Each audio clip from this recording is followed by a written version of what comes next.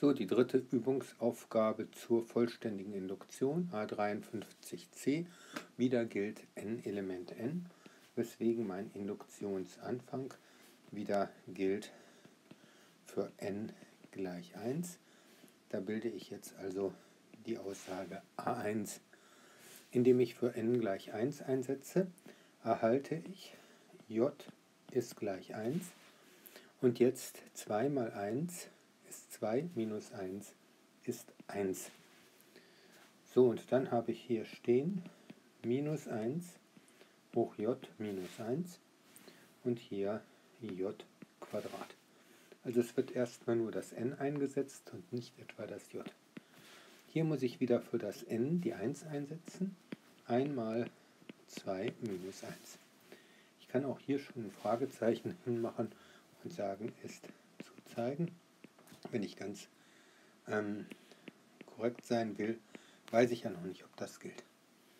So, und wenn ich jetzt äquivalent hinschreibe, kann ich jetzt für ähm, die Reihe ausschreiben. Die Reihe besteht nur aus einem einzigen Glied.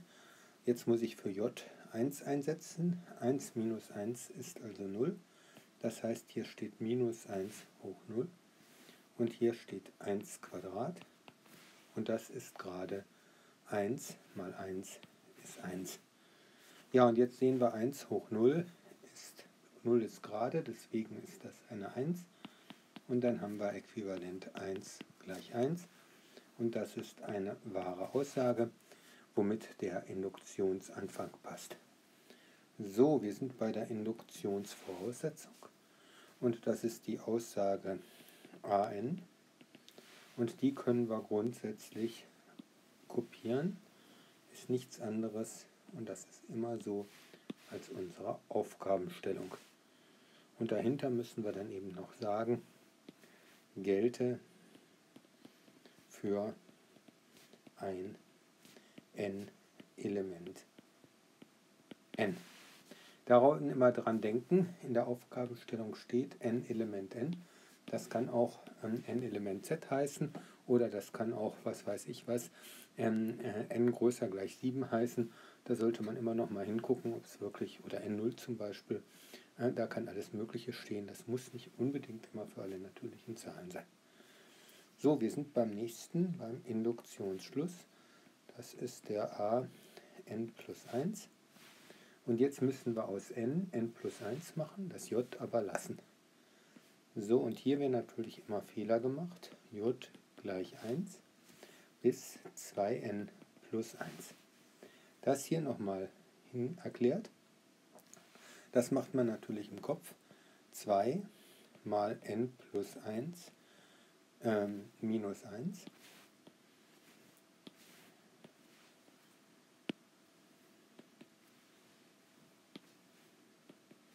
ist also 2n plus 2 minus 1 und das ist 2n plus 1. Ja, und an dieser Stelle passieren äh, häufig eine ganze Menge Fehler. Ja, und ähm, da hat mein Rechner irgendeinen Fehler gemacht. Der hat nämlich hier die Kästchen breiter vergrößert und ich weiß nicht was. Ich weiß echt nicht, was mein Rechner da eben gerade gemacht hat. Das weiß ich auch nicht, ob ich das nochmal hinkriege. Ja, muss ich mal später sehen, was ich da mache. Ich schreibe jetzt erstmal weiter. So. Dann haben wir hier minus 1 hoch j minus 1 bleibt und j Quadrat bleibt. Und jetzt muss ich für n n plus 1 einsetzen. Deswegen steht hier n plus 1. Und jetzt wieder dasselbe aus 2n minus 1 wird 2n plus 1 die Rechnung, die ist ja noch links, ist ja dieselbe Rechnung.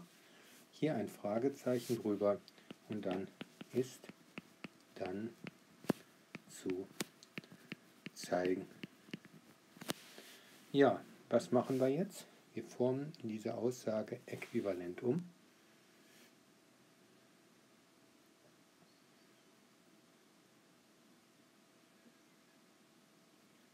Ja, und da wird uns nichts anderes übrig bleiben, als zwei Glieder abzuspalten. Das ist jetzt also die Reihe von j gleich 1 bis 2n minus 1 von minus 1 hoch j minus 1 und j Quadrat. So, und jetzt muss ich erstmal ähm, den um 1 erhöhen. Das heißt, jetzt muss ich für j 2n einsetzen. Minus 1 hoch 2n minus 1 mal 2n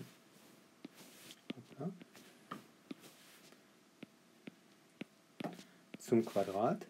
Und jetzt muss ich für das j noch 2n plus 1 einsetzen. Das ist also jetzt ziemlich eng alles. Ich versuche es mal ein bisschen weiter rüber zu schieben. So, also ich spalte zwei Glieder ab. Einmal das Glied mit 2n und einmal das Glied mit 2n plus 1. Jetzt muss ich also 2n plus 1 einsetzen für das j. Das ist minus 1. 2n plus 1 minus 1 hebt sich weg. Und dann habe ich hier 2n plus 1 zum Quadrat. Ja, und das ist wieder gleich n plus 1 mal 2n plus 1. Von mir aus auch mit Fragezeichen. So, jetzt können wir die Induktionsvoraussetzung einsetzen. Die Induktionsvoraussetzung ist also n mal 2n minus 1. Dann kann ich gucken, was das minus 1 macht. Das ist eine ungerade Zahl. Deswegen steht jetzt hier ein Minus 2n Quadrat. Und die nächste, minus 1 hoch 2n ist positiv, deswegen steht da plus 2n plus 1 Quadrat.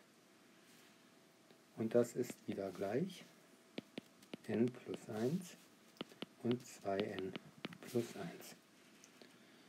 Jetzt gucke ich, ob ich durch irgendwas teilen kann. Das sieht nicht so aus. Also komme ich auf die Idee, ich multipliziere alles klein und dann musste ich hoffentlich auf eine richtige Aussage kommen. Wenn ich jetzt also einen gemeinsamen Summanden abziehen könnte oder wenn ich jetzt hier vorteilhaft durch n, n plus 1 oder 2n plus 1 teilen könnte, weil das in allen Termen vorkommt, dann würde ich das machen. So wird das alles jetzt einfach ausmultipliziert, die Brutalo-Methode. Das ist 2n Quadrat. Dann steht hier minus n minus 4n Quadrat plus binomische Formel 4n Quadrat 2ab ist 4n plus 1 und das ist jetzt gleich 2n Quadrat plus n plus 2n plus 1. Jedes Glied der einen Klammer mit jedem Glied der anderen Klammer multipliziert. So, jetzt können wir uns weiter angucken, was wir da haben. Nehmen wir zum Beispiel mal n Quadrat. Dann habe ich hier erstmal eine 2. Dann habe ich hier eine minus 4. Dann habe ich hier eine plus 4. Und dann habe ich eine minus 2. Jetzt nehmen wir die Glieder mit n. Die ist minus 1 plus 4. Den bringe ich rüber habe ich noch eine minus 3. So, und was kommt jetzt? Jetzt kommen die Glieder mit den Einsen. Und das ist dann 1 und 1 kann ich gleich weglassen. Die sind nämlich auf beiden Seiten weg. Ist gleich 0. Ich sage hier also auf beiden Seiten minus 1. Verabschiedet sich die 1. Ja, und dann sind wir bei Äquivalent 0 gleich 0. Das ist eine wahre Aussage. Also wir vergleichen, wenn wir an der Stelle hier sind, die Terme mit 2 mit n Quadrat, dann vergleichen wir die Terme mit n und dann vergleichen wir die Zahlen und wenn alle drei übereinstimmen, dann ist alles in Ordnung. Ja, zum Schluss natürlich noch unseren Abschlusssatz. Ich hoffe, er ist noch da. Nach Satz über vollständige Induktion gilt die Aussage an für alle n-Elemente n.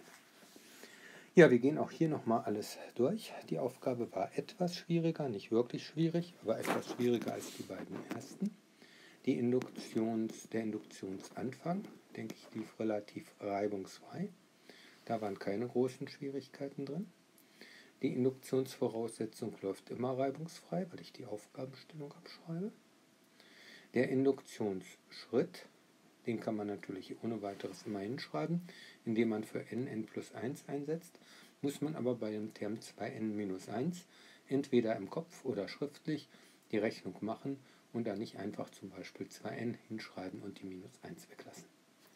Ja, wenn man also dann den Term 2n minus 1 richtig in 2n plus 1 umgeformt hat, dann ähm, ist die Schwierigkeit, dass ich jetzt, wenn ich ähm, die Reihe von Induktionsschritt und von der Induktionsvoraussetzung miteinander vergleiche, stelle ich fest, ich muss zwei Reihenglieder abspalten, nämlich den ähm, mit 2n und den mit 2n plus 1.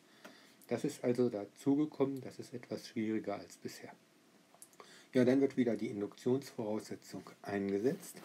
Das sollte man übrigens auch immer kenntlich machen, wo man die Induktionsvoraussetzung eingesetzt hat.